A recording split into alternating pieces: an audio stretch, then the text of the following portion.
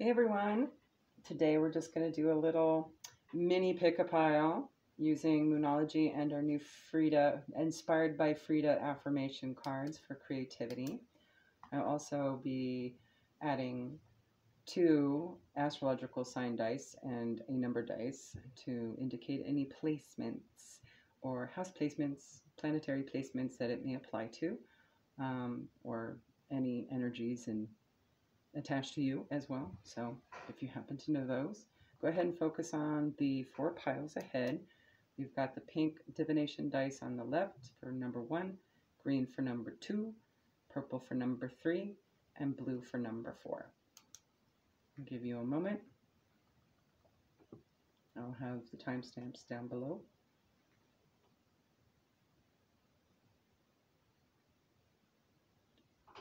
All right, if you have chosen pile number one, we have full moon in Capricorn.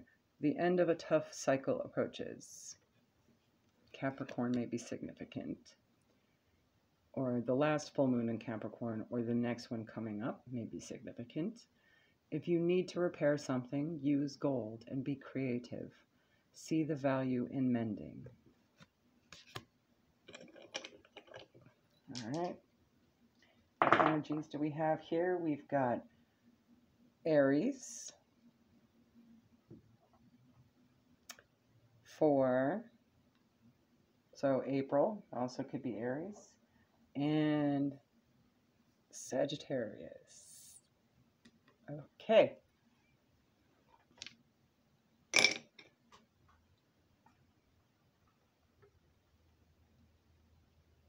If you have chosen pile number two, you have full moon in Pisces. So it could be the last full moon in Pisces. It could be the upcoming full moon in Pisces. It could be somebody with moon in Pisces in their chart. It could be a Pisces. Balance spirituality and practicality. Make a journal of your creative destiny, a very beautiful, intricate picture of your dreams. Let's roll the dice. No, that took a while. We have Taurus. We have the number six, so it could be six house, or six could be significant. And we have Sagittarius. Okay, 250 if you have chosen pile number three. Just write the timestamp down real quick. Let me look at that. A win-win outcome is forecast. Full moon in Libra. Could be dealing with Libra, someone who has moon in Libra. Could be something that happened last full moon Libra or will happen in the upcoming full moon Libra. Connect to your inner sense of beauty and wisdom, being grateful for your whole journey. Let's roll the dice, see what other energies this could involve. We have one, could be a house placement somewhere. We have Aquarius and that I believe is Capricorn.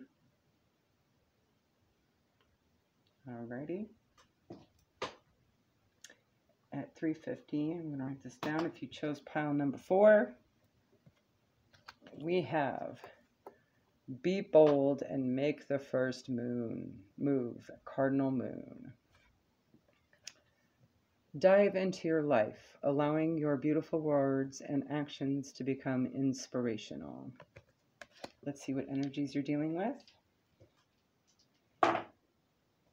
We have Aries. We have, ooh, that would be Leo. And four, maybe significant, perhaps last April, upcoming April, fourth house. All right, there you go, guys. Have a good one.